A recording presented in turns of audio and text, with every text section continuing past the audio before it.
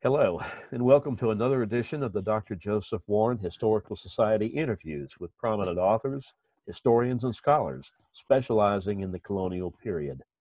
Now, my name is Randy Flood, and today I'm joined by my colleague, Christian Di Spigna, author of Founding Martyr The Life and Death of Dr. Joseph Warren, the American Revolution's Lost Hero. This segment is brought to you by the Real American Revolution television series, public television series actually, and the American Revolution Consortium for Civic Education. So, Christian, why don't you introduce our guest today? Thanks, Randy. Our guest today is Jayne Triber. She's the author of A True Republican, The Life of Paul Revere, published by the University of Massachusetts Press.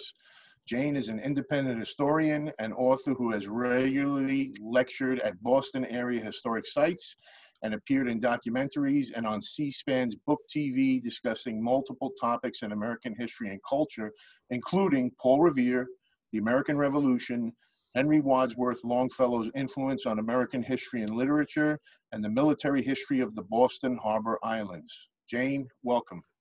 Thank you. Glad, glad to be with you today. So I just want to dive right into it. And I know you wrote extensively about the difference between the social standing of Dr. Joseph Warren and Paul Revere. But can you tell us a little bit about their friendship, their relationship in some, in, in, in some detail? Um, I often use Oxford English Dictionary as a historian's tool. And you look up the word friend, in the 18th century, it has two meanings. One is the meaning that we know, it's a relationship among equals. But friend in the 18th century also means a patron, somebody above you socially who will open doors for you. Um, Revere's relationship with the other revolutionary leaders, John and Samuel Adams, is more of the second category. They are above him socially. He is an artist and he works with his hands. If you look at the Copley portrait of Revere, his fingernails are dirty and jagged. I always tell people you don't see it in the reproduction. You have to go up really, really close when you're in the museum. But with Dr. Warren, he has a relationship that he doesn't have with the other revolutionary leaders. Yes, there are differences. Warren is a Harvard educated physician. Paul Revere went to the North Writing School. He learned reading, writing, and arithmetic, and his education ended probably at the age of 13. But because of their connection as members of Freemasons, uh, the Masonic organization, I think that allows them to cross what would have been boundaries of class in which they never would have known each other. So I do think he does have um, what we would consider the closest to our conception of friendship. That's what he has with Dr. Warren. You know, and I just wanted to follow up quickly because I've often wondered, you know, you I don't want to say Revere fell out of favor, but do you, let me word it this way. Do you think had Dr. Warren survived the Battle of Bunker Hill, would Revere have gone on to do maybe greater things or have more of a presence in this Whig orbit of radicalism? Yeah, I mean, it's what if history. We can't prove right. it, but definitely he was disappointed. He wanted to be a colonel in the Continental Artillery. He didn't get the position. In, uh, in 1777, he wrote a letter to John Lamb, a friend who was a New York Son of Liberty and did get a commission in the Continental Artillery. And he wrote to Lamb, I have never been taken notice of by those whom I thought were my friends. I shall have to be contented in the state service. He means John and Samuel Adams. And I did find a letter from John Adams basically apologizing, saying he tried to get a commission for Revere, but basically everybody and his cousin wanted a continental commission and there simply weren't enough to go around. Had Warren lived, that may have made the difference. Um, Revere was very much disappointed by that. Interesting. Well, Jayne, Christian and I have been discussing in previous interviews and with other authors and historians the smallpox epidemic in Boston in 1764. What was the experience of Revere and his family during that outbreak? Well, there's a famous letter when he talks about that he will not send my little lambs to the pest house because he knew if you sent his kids to the pest house, which was basically, there was no medical care, it was just a place to warehouse people so other people didn't get it, that his kids probably wouldn't survive. Um, what I liked in my research about Revere is, um, how shall I put this nicely? Um, Revere has a rather strong personality on being kind. I found several episodes where he can be very um, abrasive and very strong in his opinions. And I'm picturing him arguing with the selectmen, and apparently he wore them down. They allowed him to keep the children at home, uh, and there would be a flag on the house saying they were under quarantine, and a guard. And the kids did survive. We, we don't know for sure if it was one of the boys or one of the girls, but everybody survived the epidemic.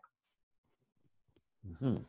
You know, you, really, uh, one of the things I really admire about your book is you really went into great detail about Revere's life really after the revolution.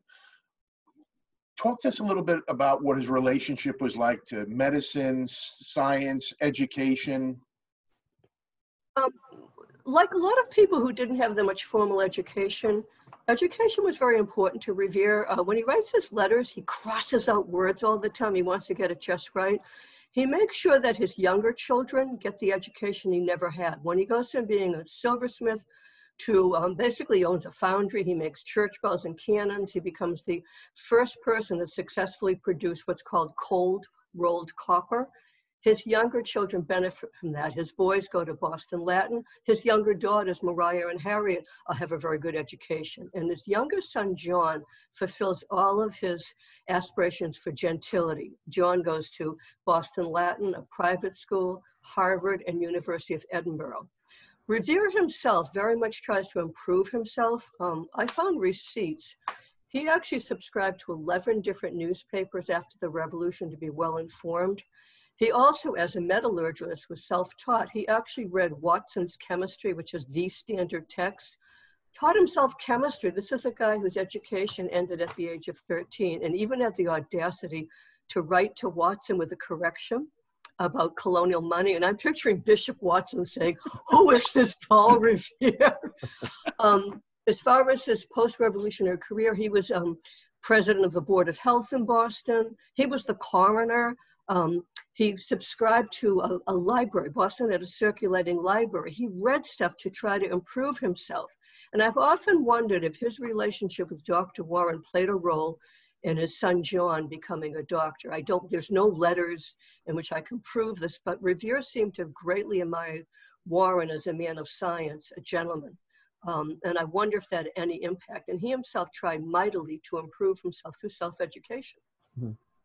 Well, Jayne, you just mentioned uh, Revere's son, John. Tell us some of the parallels between him and Dr. Warren, if you will. I hadn't thought about it for about 40 years. When I wrote to the Paul Revere's, um, visitors used to ask about Revere's children. So we did research and I, I studied the boys and my, uh, one of my colleagues studied the girls. And when I actually, I pulled the paper out when I was talking to Christian and I was struck by how much they had in common. Um, John Revere and his, the obituaries talked about him as a man of humanity, like Dr. Warren, uh, healing the sick. He actually died supposedly treating uh, some of his students for typhoid. Um, he had a remarkable career. Like Dr. Warren, he was kind of a medical pioneer. He taught and first he went to Baltimore. He did a lot of work in um, public health. He actually edited a, a, medical journal in Maryland. He translated Magendie's Physiology, which was the standard work of the day. Then he went to Jefferson Medical College in Philadelphia. He made some, uh, many um, actually advances in chemistry and he ended his career at New York University Medical School. And I've actually been there and I've seen the portrait of him. And he just reminded me of Dr. Warren, a man of science and a man of gentility. Um, he, he wrote about his, he felt his students were like his children, and when they were in medical school away from their parents, he felt it was the role of the faculty to be surrogate parents. Uh, and it just, I had never, I hadn't thought about it for a long time, how much he reminded me of Dr. Warren, who treated people from all walks of life, whether they could pay or not, was very much interested in scientific advancements like smallpox inoculation. And John Revere reminded me very much of Warren. Hmm. So I, I have a, a, flurry of questions running through my mind right now that I want to ask you. You. You, really, you covered so much in the book. You talked about how Revere and Warren lost their wives within a week of each other.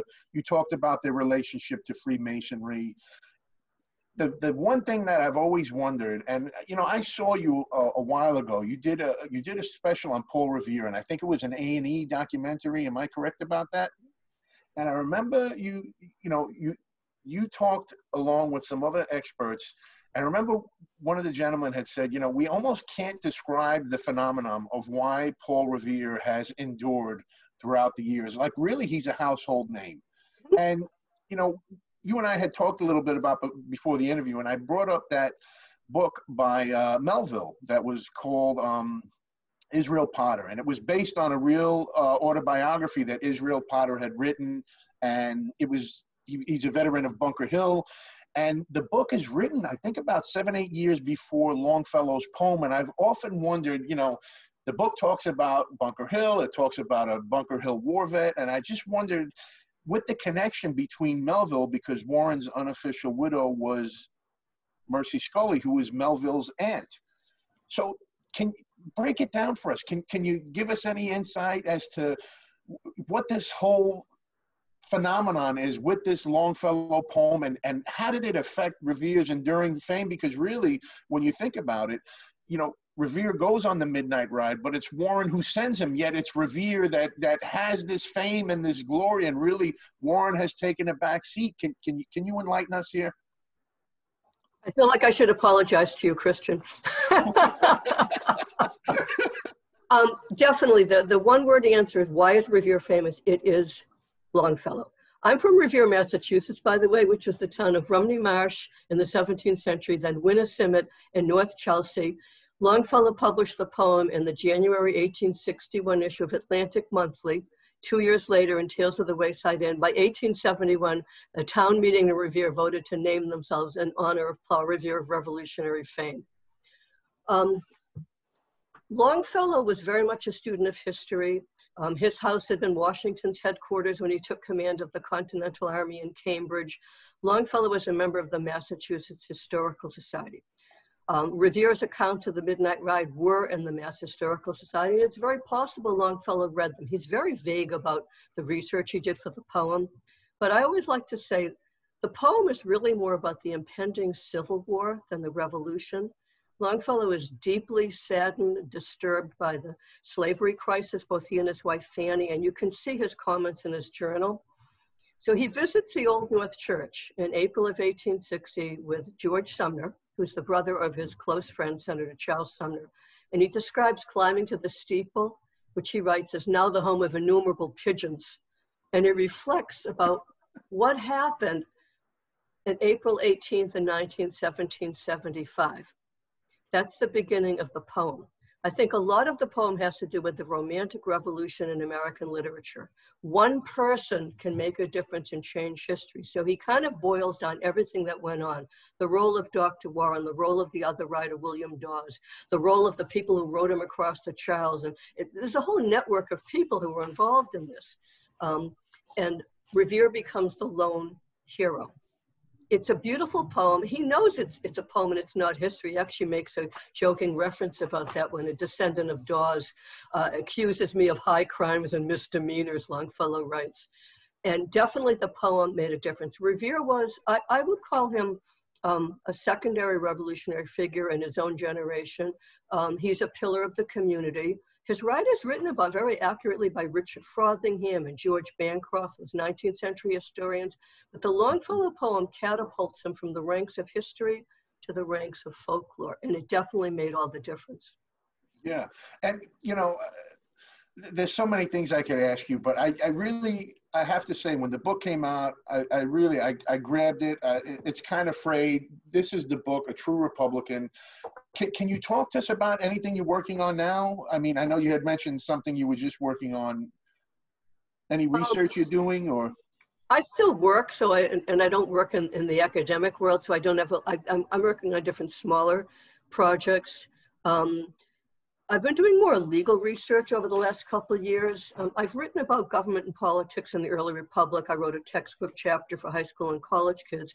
And I got very interested in analyzing the Constitution as a pro-slavery document. And then that kept bringing me back earlier and earlier because you can't understand why the founding fathers wrote this document without understanding how pervasive slavery is. So I've been doing a lot of reading and thinking about um, legal statutes, and I've even then I've gone forward into the antebellum period, and so I'm, I'm kind of gone into the 19th century, gone back to the 17th century and forward to the 19th century. So I'm working on a couple of different smaller scale projects, and I still do public speaking as well. Right.